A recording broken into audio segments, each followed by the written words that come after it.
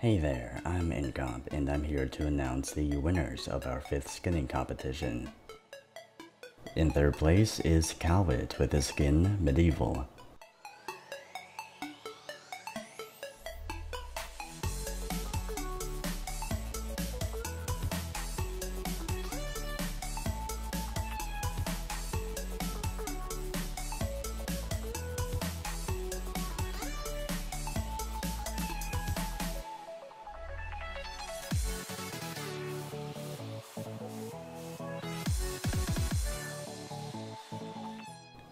In second place is Gold, Wood, and Magic made by M-AS. You may recognize the skinner since he made M-Slate, a skin that I recently reviewed.